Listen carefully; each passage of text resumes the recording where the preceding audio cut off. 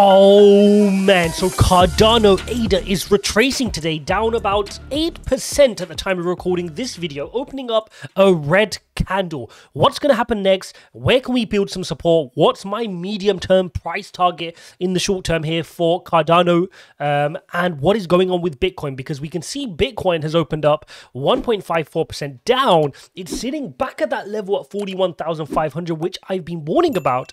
And this, let's face it, is not looking good for Bitcoin. Bitcoin and therefore some of our favorite altcoins. So let's head straight into the charts. As you can see here on Bitcoin, we're getting that dreaded curl around which I was talking about. You can see here we've opened up another red candle here today, wicking now down to 41,271 on occasions at our lows here. Currently sitting at 41 and a half on this horizontal support line. We can see if I switch over to the four hourly, you will be able to see this is the story of what happened, right? So we managed to pick up some support initially from this horizontal yellow support line at about 41,000, call it 700. Uh, we wicked briefly down to our violet wedge and managed to pick up some support to the upside. Now we then wicked to the top side at about 45,500 before being sent back down. Remember, at this point, if you watch my videos, I said we need to create that higher high. I was worried because we weren't creating this higher high up here. Okay, so we had our higher low, higher low, one high. We needed this high above 45, 44 and a half thousand. And unfortunately, we didn't get it. And that signaled this turnaround to the downside. And naturally, when you turn around from this 43 and a half level, your next support level is 41,650, which we had drawn here. The worrying thing now is we're still wicking below that. And we're showing even further weakness to the downside here on Bitcoin. So the next level of support we can see here on Bitcoin, which we have to be aware of, is you know, similar to what we saw here, which is where we bounced off our violet wedge, but now the wedge is further down. So could we actually now start losing our psychological resistance at 40,000? Okay, so that's your next level here is your psychological resistance at 40,000 before you then need to pick up support from your wedge. So that's what we're looking at now here on Bitcoin, but things are getting a little bit worrying. If I again show you the weekly candles, you will see exactly what I mean because if I if I pull out the EMA ribbon, there we go. You will be able to see that now we are closed three, well, we've closed two consecutive candles, weekly candles here below our EMA ribbon, and this one is just going further lower, right? It's not going in the right direction. In the past, we've seen times where we've uh, closed like here below uh, the EMA ribbon on the weekly, but then we've picked up quickly with a strong week following it and a you know multiple strong weeks uh, into a rally and into a cycle all the way, which ultimately led us up to sixty nine thousand. But here we're not seeing that. We saw a strong negative candle. We saw an okay uh, doji candle here, and now we're seeing a, another weekly candle so far. We still have five days left for this candle, so things can change. But just to make you aware, we need this candle to get us back above our EMA ribbon. Otherwise, this could really start signaling the uh, beginning of a bear cycle here on Bitcoin, and that could be devastating for some of our favorite altcoins. But interestingly, like we saw yesterday, Cardano decided to have a massive move. Uh, and if we head over to the daily chart here on Cardano, you can see this massive candle yesterday. Uh, we we wicked from lows in, in yesterday's candle of 134 all the way to highs of 164. You can see how attention is now starting to come to Cardano. You can see the volume candles. Uh, let's just show you these. Look at these volume candles, guys. You can see they're massively spiking up in the right direction, showing that people are starting to wake up now. They know SundaeSwap, the decentralized exchange, is getting ready for launch on the mainnet on Thursday, and that is getting some people's interest. Now you can see the pickup all the way from a dollar flat almost to a dollar sixty-one in just a matter of days is uh, here on Cardano. It just goes to show the bullish intent here. Now are we worried about today's daily candle? Because you can see we got rejected off the 160, 161 level. We've been sent straight back down now, currently sitting at $1.47. Now, obviously, we some of that is a natural retracement after getting hit by a resistance level here at 161, which we were expecting. But also, the weakness shown by Bitcoin is going to be play a part in this as well, because you can see just the broader market is just down today, uh, which is very interesting. You can also see here, if we briefly click into the shorts, you can see here on the daily chart the number of Bitcoin shorts in this period has picked up massively. I mean, if I just take the measurement tool, let's just do that from there to there. There you go. You can see we've had a 200% increase almost in the number of shorts on Bitcoin, which is just showing you where the market is going. If we look at the fear and greed index, you can see we're sitting at 24, still extreme fear. We've been in extreme fear for a long time now, and there's no catalyst on the horizon for us to head out of this you know, ditch, which is what we're in right now. So we really need things to start coming into play for Bitcoin. We're going to need some adoption. We're going to need some positive catalysts to get things moving back in the right direction. And maybe those are going to be macroeconomic trends from the wider stock market and the wider jobs figures and inflation figures.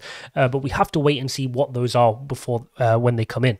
Now, coming back to ADA, what are we seeing here? Well, we're seeing this retracement down. If I head over into the four hourly, what I do want to show you is this is perfectly fine, right? To get rejected from the 161 is fine because we've still got our EMA ribbon here on the 4 hourly. We still have plenty of room to retrace. I mean, the top of the EMA ribbon will give you a 145 Cardano, but realistically, you're fine all the way up to the bottom here at 134. Given the, the speed at which we bounce back up, don't be afraid if we get a little bit of retracement, we come and test our EMA ribbon. This is actually a good thing before then attempting to bounce and rotate and break with even bigger strength, uh, head with even better momentum through the 161 level to break that level. Now, medium term, what I expect us to see? Well, for here, what you can see here on the four hourly chart is we are, you can argue, we are forming a bit of a, a W pattern, okay? And a W pattern with a neckline at 161. So if we're monitoring that neck pattern at 161 here, what you can see is you can get a technical price target if you take the measured move of where this white line is telling you at about $2.14, which interestingly ties in with your Fibonacci level, which I'd drawn of $2.11 at the 50% retracement level. So definitely a lot of uh, room here for Cardano to move to the upside. You can see here, if we flip back to the daily, we've had plenty of bleeding here on, on Cardano, almost, you know, unnecessarily, just due to people saying, oh, Cardano's not doing anything, then all of this downward trend, the rhetoric was that Cardano aren't working on anything. They've, you know, got an overpump valuation. They don't actually have any total value locked. Well, now the developments we're seeing from a fundamental perspective in terms of SundaeSwap and a bunch of DeFi projects being built on proactively, uh, you know, from Solid to RV looking to come. Uh, uh, sorry, uh, getting my wires crossed. Um, from Meld Finance uh, to CardStarter to various other interesting things being built on the Cardano network. Things are looking really positive here for Cardano, and I can expect some good movements in the price to the upside. So definitely one to keep an eye on here on Cardano. Now, if we head over to the weekly, just for completeness, guys, we can see here that on the weekly chart, we did indeed at this point here in November close a weekly candle bearish here. After this long term bleed, it took a lot, but we did eventually flip bearish. Now, the positive news is we're managing to try rotate out of this. We need to get a candle close within our EMA ribbon. You can see here where we're at now. This is why the 161 level is so important. We got sent down to 148, which is right at the bottom of our EMA ribbon. If we can get a close above 161 on this weekly candle, we've got another five days left. We know Sundae swap is coming up. That could be really interesting because that will give us a close back in our EMA ribbon, quite high up our EMA ribbon as well. Even, to be honest, even 150 range is fine. Uh, 150 to 161 range. If we get a close in this region here, that would be a good start for us to then bounce and continue to work towards our next Fibonacci targets and head towards $2.11 before looking to get to all-time highs. Now, naturally, my next target is my Fibonacci golden ratio target sitting at $4.45. But you guys know here for, for me, Cardano is a long-term hold. I'm always looking for retracements to build my position. I had plenty of time here to accumulate and accumulate, accumulate, just like I accumulated in these positions here. Um, and I'll continue to do that, right? That's why conviction is so key. I can't stress that enough, guys. Conviction is so key because with crypto, things move really quickly. You bounce off of your floors really quickly. So if you think you can panic sell and then time the market to get back in, trust me, trust me, trust me, you will miss out on the wealth uh, making opportunity. So it's really important that you build your conviction. You you um, have you know steely conviction such that you don't panic sell. You forget about your position. You dollar cost average into it, and then you come back in a year, two years, and you look at your Cardano position based on your thesis that you think they're going to be one of the better layer one solutions. And if you don't think they are, then it's a risky bet to be playing around with Cardano just because your friend told you about them, or just because they're pumping right now in the price, or just because Charles Hoskinson said something. You really need to have deeper conviction than that. There you go, guys. There is an update on Cardano. Hope you guys enjoyed this video. Uh, probably bring you another video later on today on COTI because COTI is also uh, managing to stay green today.